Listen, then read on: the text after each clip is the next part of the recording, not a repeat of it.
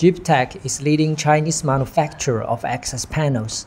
Sometimes we need a very large opening to access large equipment, so the access panel needs to be very large.